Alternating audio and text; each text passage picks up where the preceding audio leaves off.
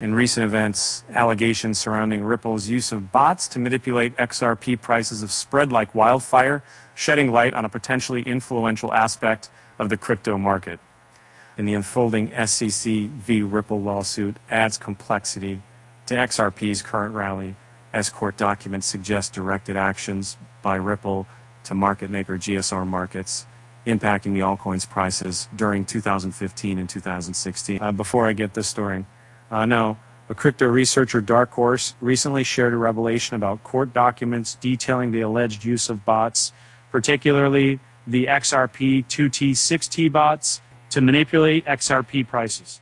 The documents also imply the involvement of bots operated by key figures, including those attributed to Brad Garlinghouse and Chris Larsen.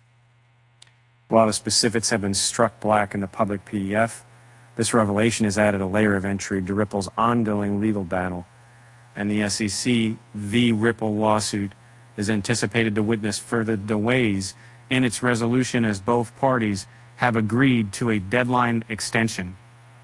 The regulator's request for an extension and remedies. Breeze filing has been acknowledged by Ripple, providing more time for the payment firm to submit its opposing brief. And despite the legal turmoil, XRP's price continued its upward trajectory, reaching 58 cents and targeting 64 cents.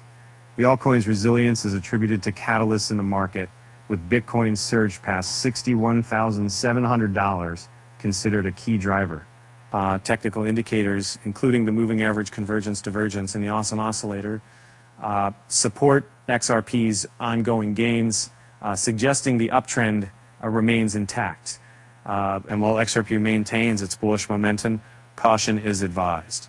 A daily candlestick closed below the 50% retracement of XRP's decline from its 2024 high at 56.29 could challenge the bullish thesis. Additionally, any interruption in Bitcoin's uptrend poses a risk to XRP's recent gains.